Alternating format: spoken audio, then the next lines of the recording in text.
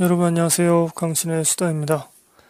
오랜만에 개봉작을 녹음해 보겠습니다. 조커 이후에 개봉작을 오랜만에 또 녹음합니다. 포드 대 페라리 녹음해 보겠습니다. 실화를 바탕으로 했고, 어, 저희가 정서공감 시리즈로 녹음을 했던 로건 연출했던 제임스 맨골드 감독이 연출했습니다. 12월 4일에 개봉했고요. 152분짜리입니다. 2시간 반짜리죠. 그래서 좀 길어서 저도 이거 안 볼까 생각했는데 음, 아무래도 레이싱 나오는 영화는 극장에서 보면 좀 사운드 같은 것도 좀 빵빵하게 나오고 그래야 또 맛이잖아요. 그 기계음, 엔진음 이런 것들. 2시간 넘어가는 영화를 이렇게 즐겨보지는 않습니다만 저는 시간 가는 줄 모르고 봤습니다. 중간에 좀 지루해지는 감도 있었지만 그 레이싱 하는 장면 그 분량이 상당히 많습니다. 그것만 보더라도 152분이 아깝지 않을 겁니다. 그리고 길게 느껴지진 않고요. 12세 관람가이고 어, 12월 4일에 개봉했는데 스크린이 최대 986개 달렸고요. 음, 뭐 박스 오피스 지금 2등을 달린다고 하는데 뭐 1등이 워낙 압도적이니까 겨울왕국 2편이 관객은 지금 50만이 좀 넘었네요. 다음에 이제 겨울 대작들 뭐 천문이니 백두산이니 등등 개봉하잖아요. 그때쯤 되면 스크린을 많이 뺏길 것 같고요. 그래서 여러분 이 영화 보실 거면은 빨리 극장에서 보시면 좋을 것 같습니다. 네, 참 공지를 해야죠. 저희 지금 강신의 영화제를 위한 청취자 설문을 받고 있습니다. 여러분들이 올 한해 어, 좋게 보신 영화들 투표해 주시면 되고요. 그것을 바탕으로 강신의 영화제를 녹음해 보도록 하겠습니다. 지금 참여율이 굉장히 안 좋습니다. 이대로 가면은 예년과는 상당히 다른 그런 구성을 갖고 녹음해야 될 것 같아요. 자, 그래서 여러분 꼭 좀 참여 부탁드리고요. 저희 블로그, 트위터에 어, 그 설문 링크가 있고 또 제가 얼마 전에 그 알림 방송편으로 올린 에피소드에도 그 설명란에 어, 설문 링크가 있습니다. 그것을 클릭하셔서 찾아오시면 되죠. 꼭 참여를 부탁드리겠습니다. 자, 이 영화 음, 맷 데이먼과 크리스찬 베일 두 배우가 했고요. 맷 데이먼은 음, 미국인 최초로 그 르망 24시 대회 거기서 우승을 한 사람인데 심장이 안 좋아서 은퇴를 한 그래서 지금은 뭐 스포츠카 설계 엔지니어 이런 거를 담당하는 그리고 자기만의 팀을 갖고 있는 사람을 나옵니다. 어, 극 중에서 안녕하세요 라는 이제 한국말이 들리는데 그거를 맷 데이먼이 한 대사인가? 하여튼 실제로 그 캐롤 셸비라는 인물을 맡았는데 그 인물의 팀에 한국 분이 계셨다고 하네요. 아주 오랫동안. 음. 크리스찬 베일은 이제 켄 마일스라고 정비소 일도 하고 이제 그 메카닉 일도 하시면서 어, 레이서도 함께 하시는 그런 인물로 나옵니다. 실제 인물이고요. 뭐 기계에 대해서도 빠삭하고 성격이 좀 다혈질 뭐 그런 면이 있지만 이 레이싱에 대한 열정이 굉장히 큰 그런 인물로 나옵니다. 그래서 단순히 레이싱만 하는 것이 아니라 이 기계에 대해서 뭐 빠삭하기 때문에 어, 테스트용 차를 실제로 운전하고 그래서 어떤 부분이 어떻게 부족하다, 뭐 어떻게 고쳐야 되겠다 이런 것들도 직접적으로 파악하고 맷 데이먼의 엔지니어 팀과 시너지를 만드는 어, 그러한 모습들을 보여주고 있더라고요. 뭐 스토리는 그렇죠. 그러니까 이 두 인물이 어, 이제 새로운 스포츠카를 만들어서 르망 24시 대회, 24시간 동안 차를 타는 두 명의 레이서가 한 팀을 이룬 것 같습니다. 그래서 24시간 동안 어, 레이싱을 하는 그 대회에서 우승을 목표로 하는 그러한 영화인데요. 약간 정치 이야기가 좀 들어갑니다.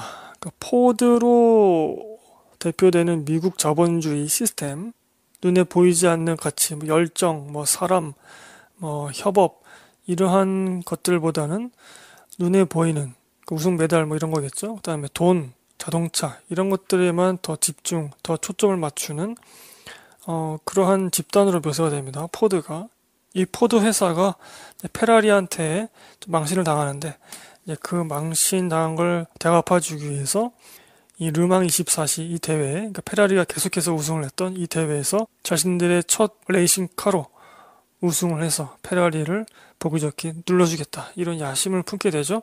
그래서 이 맷 데이먼과 크리스찬 베일에 있는 팀에 손을 잡게 되는데 이 포드가 계속해서 자신들만의 사내 문화, 그 회사 내에서 벌어지는 여러 가지 정치 있잖아요. 뭐 윗사람들한테 잘 보인다던가 부하 지원이 해놓은 업적을 자신이 가로챈다던가 이러한 그 나쁜 의미의 정치죠. 그런 정치질 이런 것들이 이제 회사에서도 많이 일어나잖아요. 뭐 회사뿐이겠습니까? 뭐 조그만 마을의 조기 축구에서도 정치가 있는데 그러한 것들이 엮여지면서 조금 풍성한 그런 이야기를 보여주고 또 그것이 이 영화의 일반적인 레이싱물과는 좀 다른 특성을 가져다 주는 것 같습니다. 또 그 점에 평론가들이 좀 좋은 점수를 준 것 같고요. 근데 저는 개인적으로 그러한 장면들이 음 저는 순수한 레이싱 영화인 줄 알았어요. 그러니까 제가 지금 오늘 방송은 좀 두서없이 말씀드리겠습니다. 지금 아무런 뭐 메모도 안 하고 그냥 컴퓨터 화면만 띄워놓고 짧게 녹음하려고 했기 때문에 그 러시 더 라이벌이라고 제가 녹음을 했던 론 하워드 감독의 작품이 있습니다. 그 작품은 두 캐릭터, 성격이 전혀 다른 두 캐릭터의 내면을 어, 화면에 보여주고 또 그것을 비교 대조하고 그들의 경쟁, 우정, 뭐 사랑 이런 것들을 보여주죠.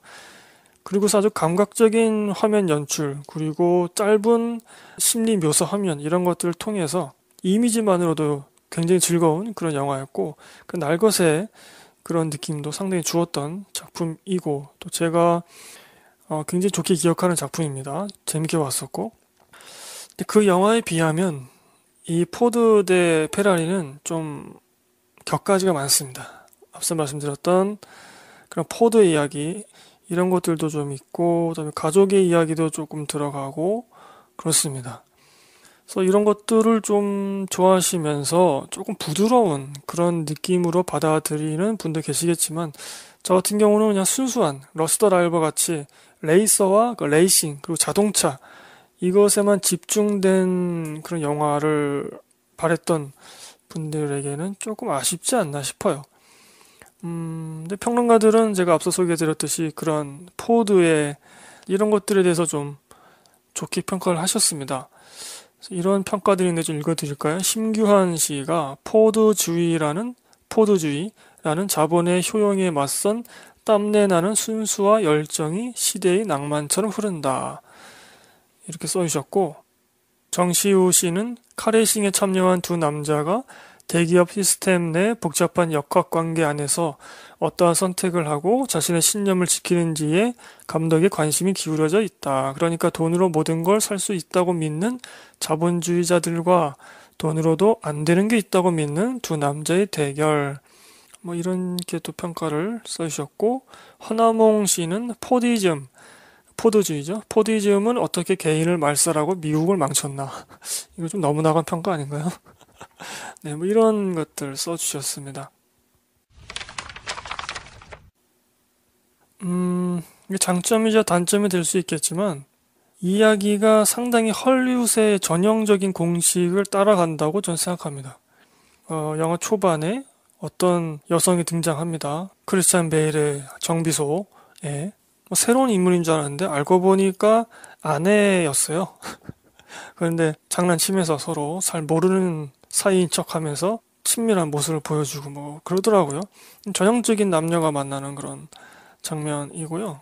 그리고 크리스찬 베일을 음, 정말 열정으로 그냥 똘똘 뭉쳐있는 그런 사람으로 묘사를 해서 어떻게 보면 좀 영웅화 시킨 건데 영화의 결말을 보시면 왜 그렇게 영웅화 했는지는 어, 충분히 공감이 되지만 원래는 이 맷 데이먼의 팀에 합류하지 않으려고 했다가 그래서 좀 감정의 골이 좀 심해진 거 아닌가 이렇게 생각했는데 그냥 둘이서 뭐 투닥투닥거리면서 싸우고 그 남자들끼리 싸움 있잖아요 주먹 싸움 그 애들처럼 유치하게 그렇게 싸우면서 마음 풀리고 뭐 또 레이싱에 대한 열정 하나로 이제 다시 그 팀에 합류하게 되는 뭐 그러한 모습을 보여주거든요. 너무 좀 간략하게 개별 동기를 보여준 거 아닌가? 너무 좀, 아, 남자, 남자다움, 뭐 이런 것들 좀 보여주고 한 게 아닌가 싶기도 하고요. 그리고 제가 제일 좀 의아했던 거는 이제 결말 처리입니다. 내가 스포일러기 때문에 말씀 못 드리지만 맷 때문에 약간 좀 눈물 머금는 이제 그런 장면이 나옵니다. 그런데 그 장면이 6개월 지난 그러한 상황에서의 나오는 장면인데 너무 음, 낭만적으로 처리한 게 아닌가 그런 생각이 들어요. 그러니까 모든 것이 다 뭐 잘 풀렸고 앞으로도 잘 될 것이다. 뭐 현재는 뭐 마음이 아프고 힘든 상황이지만 뭐 이러한 처리라고 해야 될까? 흔히 볼 수 있는 헐리우드의 전형적인 공식이라고 저는 생각이 들더라고요. 근데 과연 그 장면, 그 사건에서 그런 태도를 갖는 게 좋은 것인가? 그리고 좋은 영화적 처리 방식인가에 대해서는 좀 회의적입니다. 그래서 이것이 어떻게 보면은 진입 장벽을 낮춘 거잖아요. 저는 어, 전형적인 것 그 자체를 비판하지 않아요. 그 전형성도 그 나름의 재미가 있거든요. 영화적 재미가 있고 또 관객이 쉽게 영화적 재미에 도달할 수 있게끔 이미 닦아놓은 길이거든요. 안전한 길이죠. 관객이 뭐 새로운 길을 가든 울퉁불퉁한 길을 가든 전형적인 길을 가든 영화적 재미만 찾으면 되잖아요. 근데 이제 그 길 자체를 좀 재미난 길을 원하시는 분들도 계시니까 150분이 넘어가는 영화이지만 시간 가는 줄 모르고 봤다 이렇게 말씀드렸습니다. 그 원인 중에 하나는 계속 이야기들이 나오게 되고 별것도 아닌 이야기로 질질 끄는 게 아니라 그리고 레이싱 장면, 실제 레이싱 장면들이 상당 분량을 차지하고 있습니다. 거기서 나오는 여러 가지 사건들 그리고 그 기계음, 엔진음, 자동차, 부딪힘 이런 것들을 느끼는 그런 또 재미가 있잖아요. 그런 것들에 주목해서 보시면 더 좋을 것 같고 그런데 음, 앞서 제가 말씀드렸지만 러시 더 라이벌에 비해서는 약간 좀 연출이 개인적인 취향에서는 조금 아쉽기도 했어요. 포드 대 페라리에서 속도감은 굉장히 살려서 어, 그 레이싱 장면을 연출했더라고요. 그러니까 제가 액션 설명해 드리면서 이제 몇 번 말씀드렸던 것 같은데 자동차 액션에 있어서 중요한 거는 속도감을 느끼는 겁니다. 속도감. 무조건 속도감이에요. 그 다음에 이제 무게감이죠. 그 육중한 철로 된 물체의 무게감 이런 것도 느끼게 해줘야 돼요. 그래서 만약에 자동차가 벽에 부딪혔을 때 이것이 그냥 뭐 종이 쪼가리 뿌기는 것 같은 그런 느낌이냐 아니면 진짜로 두꺼운 강철이 짓이겨지는 그런 느낌이냐 이거는 화면으로 봤을 때 그러니까 우리가 직관적으로 느끼는 그 차이가 굉장히 크잖아요. 이 영화에서는 그런 무게감보다는 레이싱할 때 그 속도감을 최대한 살렸고 그 속도감 때문에 일어나는 사고들 뭐 차끼리 부닥치거나 이럴 때 그 사고들을 아주 직접적으로 어, 가까운 거리에서 보여주기 때문에 그 짜릿함, 이런 긴박감 이런 것들을 대신해서 그 육중함 대신에 전달하고 있는 것 같습니다. 속도감을 살려주기 위해서는 카메라가 함께 움직여야 되고요. 그리고 어, 웬만하면 속도를 속이면 안 됩니다. 차가 실제로 조금은 속도를 내서 달려야 돼요. 근데 우리 한국 영화에서는 그 점을 좀 간과해서 카메라도 느리게 가고 자동차도 느리게 가고 그렇다고 하면은 스크린에는 속도감이 제대로 살 수가 없죠. 둘 중에 하나 혹은 둘 모두 다 빠르게 움직여야 됩니다. 근데 이 영화에서는 함께 카메라가 빠르게 움직이거나 뭐 CG를 이용했겠지만은 아, 자동차가 굉장히 빠르게 움직이는 것을 카메라가 놓치지 않고 그래서 보여주기도 합니다. 자동차 액션도 포함해서 액션할 때에 이제 중요한 것은 그 액션을 취하는 사람의 표정, 감정 이런 것들도 보여줄 수 있어야 되거든요. 근데 그것이 그 액션 리듬을 깨트리면 안 돼요. 어, 정말 중요한 발차기를 하려고 그러는데 갑자기 표정을 딱 보여준다거나. 그러면 그 액션 리듬 깨지고 그것은 이제 쾌감이 깨지는 거죠.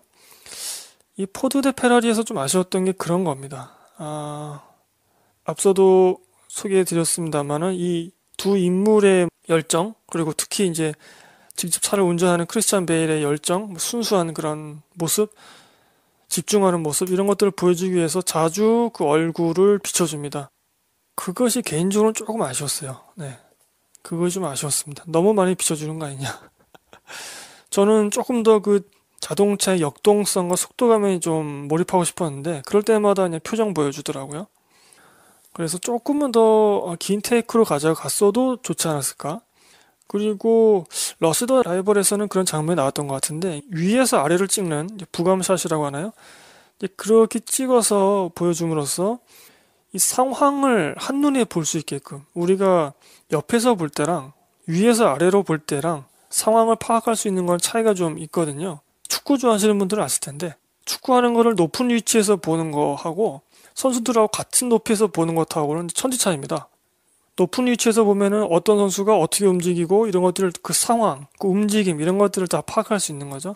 마찬가지로 레이싱을 할 때 하늘에서 위에서 아래를 보는 그 부감샷으로 지금의 이 레이싱 움직임들, 그다음에 이 차들의 경쟁, 부닥침 이런 것들을 좀 보여줬으면 조금은 더 이게 무슨 상황이다 라는 것을 알 수 있었을 텐데 단순하게 차들끼리 경쟁하고 속도 경쟁하고 표정 보여주고 엑셀을 밟고 뭐 RPM 7000까지 올라가는 거 계속 보여주고 이런 식으로만 연수를 했단 말이죠.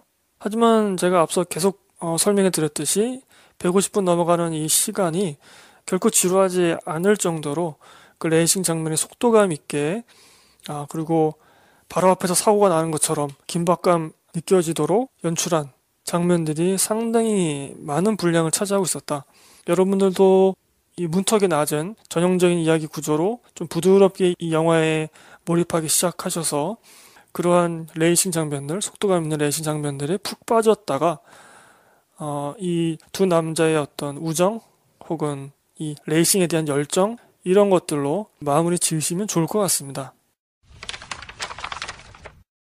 영화상에서 이제 7000 RPM이 나옵니다. 자동차 운전하시는 분들은 아시겠지만 회전수이죠. 쉽게 말하면 뭐 엔진이 얼마만큼 펌프질을 하는가 뭐 이렇게 알려드리면 될까요? 7000 RPM, 7000 RPM이 굉장히 뭐 극도로 도달하기 힘든 수치인가 보더라고요.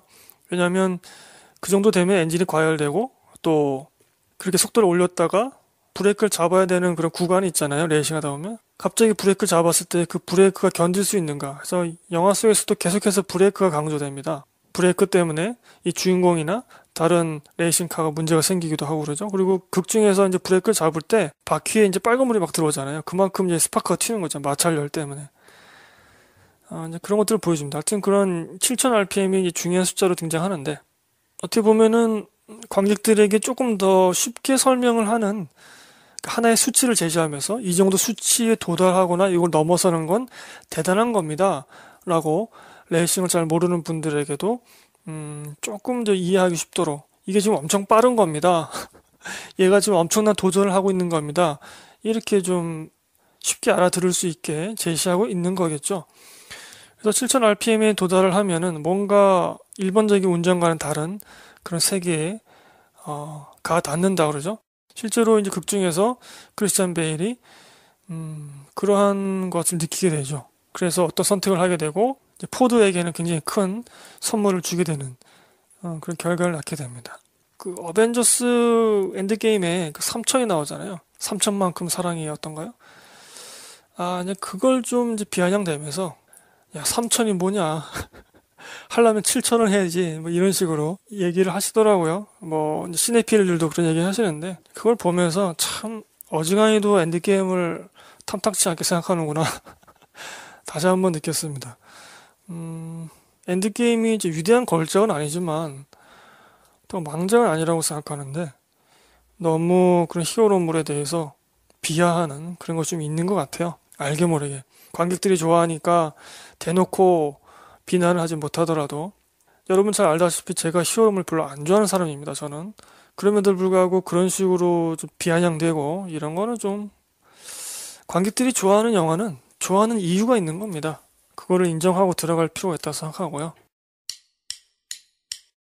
영화에서 좀 이상적인 장면은 그 아내와 관련된 이제 크리스찬 베일의 아내와 관련된 이야기입니다. 어, 상당히 미인으로 나오시더라고요. 감사합니다. 국세청에서 이제 왔다 그러죠. 그래서 정비소도 문을 못 열게 되고 이러한 처지에 처하게 되죠. 저축한 돈도 하나도 없다 그러고 땡전 한 푼 없다 이런 얘기 합니다. 그러면서 자기의 그 우승 트로피 이런 것들 다 버리면서 돈도 안 되는 저런 레이싱들 버리고 나는 이제 돈 버는 거에만 치중하겠다 이런 얘기를 합니다. 어떻게 보면 뭐 생계가 이 생활이 더 중요하니까 이제 그리고 가족이 있거든요. 아내와 아들이 있으니까 그러자 아내가 예상치 못한 반응을 보이더라고요. 남편을 말립니다. 아니다. 당신 레이싱 해야 된다, 당신은. 어떻게 보면 이제 위험한 그런 일이잖아요. 그럼에도 불구하고 아내가 그렇게 말했던 거는 방송 초반에 말씀드렸다시피 눈에 보이지 않는 가치에 대해서 이 아내도 그 남편과 함께 크리스찬 베일과 함께 공유를 하고 있었다는 거죠. 이 레이싱이라는 것이 이 남편에게 어떠한 의미를 갖고 있는가. 어, 삶의 동기라고도 볼 수 있거든요. 원동력일 수도 있고. 그래서 이 남편에게서 생계가 중요하긴 하지만 레이싱이라는 걸 뺏어갔을 때, 저버리게 됐을 때 그 삶의 어떤 큰 부분이 떨어져 나가는 거잖아요. 그것을 사랑하는 사람 입장에서는 굉장히 우려했던 거죠. 이것은 음, 우리가 뭐 흔히 말하는 뭐 꿈을 위해서 매진해야 됩니다. 이런 얘기가 아니라 정말 그 사람에게 어, 삶의 원동력이 될 수 있는 그 무언가가 다들 있잖아요. 우리 살면서. 이제 그러한 것들을 서로 존중해주고 지켜주려고 하는 그런 모습들. 이게 좋았습니다. 이러한 것들이 이제 영화 전반에 계속 깔려 있어요. 극 중에 이 맷 데이먼과 크리스찬 베일이 팀을 이룬 다음에 팀이 나가게 된 그 첫 번째 대회에서는 크리스찬 베일이 배제가 됩니다. 포드 회사의 정치질 때문에.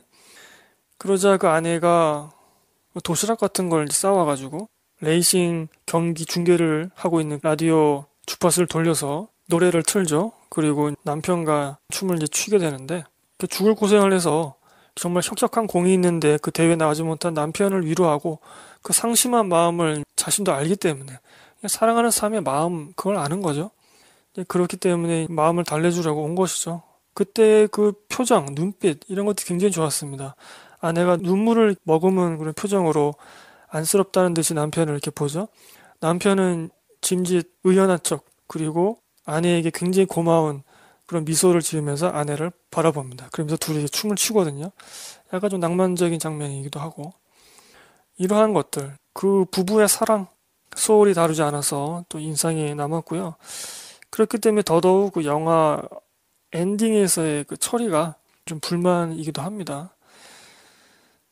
그리고 또 한 가지 이상적인 장면은 이제 아내와 관련된 또 장면인데 남편이 이제 맷데이먼과 몰래 어디 다녀온 것을 숨겨요. 그러자 아내가 화가 나서 아내가 차를 운전하고 있었는데 굉장히 험하게 막 속도를 급격하게 올려가지고 중앙선도 막 침범하고 그런 식으로 운전을 합니다. 협박하는 거죠. 나에게 진실을 말하지 않으면 둘이 같이 죽자 뭐 이런 거죠. 남자들이 보통 많이 하는데 나쁜 모습이라고 볼 수 있잖아요. 뭐 데이트 폭력 중에 하나죠 이게. 어 그런데 거기서 저는 뭐 나쁘게 느끼지는 않았고 또 그렇게 묘사되지도 않았고 그 아내가 하는 말은 레이싱에 다시 참여하는 것을 뭐라 하는 것이 아니라 왜 나에게 그것을 숨겼느냐 그것을 질책하는 겁니다. 부부 사이에서는 그런 걸 숨기면 안 된다. 다시는 나에게 그런 걸 숨기지 말아라. 그런 얘기를 하더라고요. 이것도 좀 의외였습니다. 아, 이렇게 음, 서로 존중하고 사랑하고 있구나. 그런 모습을 또 볼 수 있었거든요. 우리 뭐 한국 영화 같은 경우는 어? 돈벌이해지 언제 정신 차릴래? 그러면서 진짜 7000 RPM 막 밟고 막 이렇게 나왔을 수도 있었을 것 같은데 이제 그러한 것을 좀 벗어나서 부부애를 보여주는 장면으로 또 활용이 되더라고요. 좀 이상적이었습니다.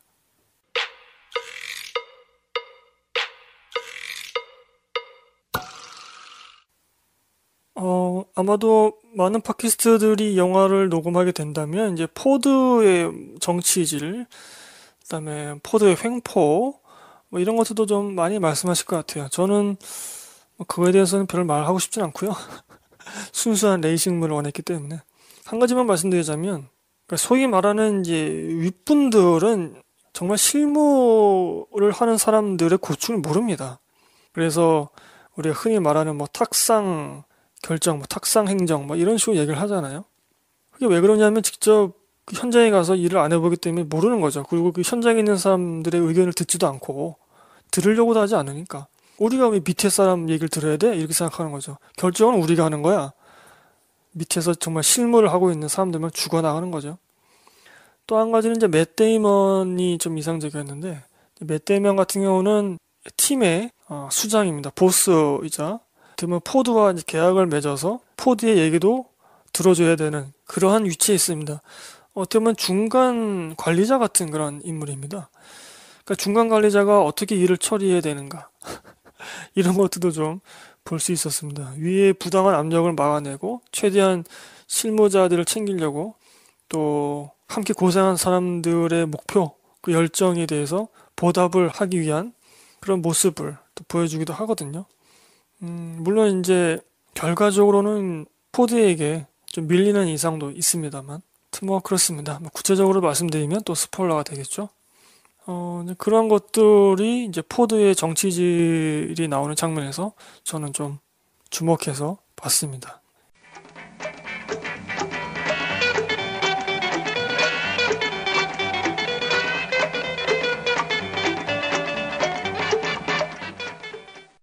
여기까지 하겠습니다. 뭐 짧게 좀 어수선하게 말씀드렸는데요. 이 영화 다음 주면은 이제 스크린이 많이 사라질 것 같아요. 음, 워낙 한국 대작들이 이제 개봉을 하게 되죠. 레이싱물을 좋아하시거나 혹은 이제 관심은 있는데 조금 낯설다 이런 분들 이 영화 보시면 좋을 것 같습니다. 어, 상당히 좀 말랑말랑한 지점도 있고 전형적인 공식을 쫓아가기 때문에 좀 부드럽게 이 영화에 진입할 수 있다고 생각하고요. 어, 152분의 러닝 타임이지만 아, 좀 지루한 것 같은데 라고 할 때 이제 갑자기 뭐 레이싱 경기 막 들어오고 기계음, 엔진음 이런 것들 나오게 됩니다. 음, 어쩌면 그 부부의 모습들에 주목해서 보셔도 좀 색다른 느낌을 받으실 수 있을 것 같네요. 아주 훌륭한 레이싱 영화라고 저는 개인적으로 조금 모자르지 않나 생각 들지만 그래도 여러분 즐겁게 볼 수 있는 오락 영화라는 점에서는 올 연말에 보시면서 한 해 마무리 하시면 좋을 것 같고요. 자, 방송 마치겠습니다. 포드 대 페라리 녹음했고요. 어, 다시 한번 저희 지금 강Cine 영화제 설문 돌리고 있다는 거 여러분 잊지 마시고 참여 부탁드리겠습니다. 15일까지 여러분들 참여하실 수 있습니다. 얼마 남지 않았네요. 얼마 남지 않았는데 참여율이 이거 극악이래 가지고 큰일이네요. 여기서 방송 마치고요. 저는 12월 달에는 조금은 자주 업데이트를 해보도록 하겠습니다. 다음 주에 개봉할 저는 백두산 쪽을 좀, 좀 노리고 있습니다. 어, 보고서 녹음할 만하다 싶으면 녹음해서 다시 올리도록 하겠습니다. 건강 잘 챙기시고요. 감사합니다, 여러분. 안녕히 계세요.